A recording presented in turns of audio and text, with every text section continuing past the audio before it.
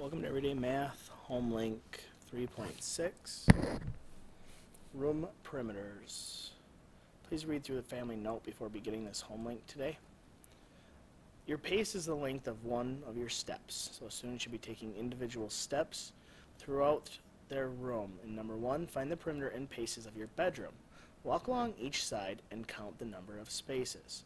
The perimeter of your bedroom is about how many paces. In this portion here, they put how many paces they had around their room. And number two, which room in your house has the largest perimeter? Use your estimating skills to help you decide. So the students must guess or estimate which room has the largest perimeter. Most oftentimes it will be the living room or maybe the kitchen.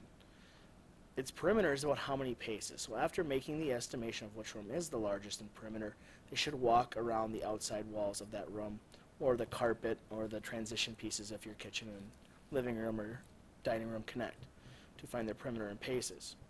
And number three, on the back side, they need to draw this room on the other side of the sheet. Plan to share your drawing with the class. Write these problems on the back of this page. So they need to use part of the page to do the problems on the back.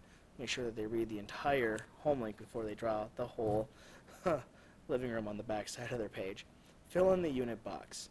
Write a model, write a number model for your ballpark estimate. Use any method you wish to solve each problem. Show your work. In the first one, their ballpark estimate should be 40 plus 10 is 50. Any way they want to solve, if they do 38 plus 9, it is 17. Carry the 1 is 47. In number 5, 143 can be rounded to 140. And 37 can be rounded to 40, which equals 100. Then to do the actual math, 143 minus 37. Students should know that 3 minus 7 does not work, so we will borrow or take away the trade first method from second grade. Turns into a 3. Give the 1 to the 3 becomes 13 minus 7 is 6. 3 minus 3 is 0, and 1 by itself is 106.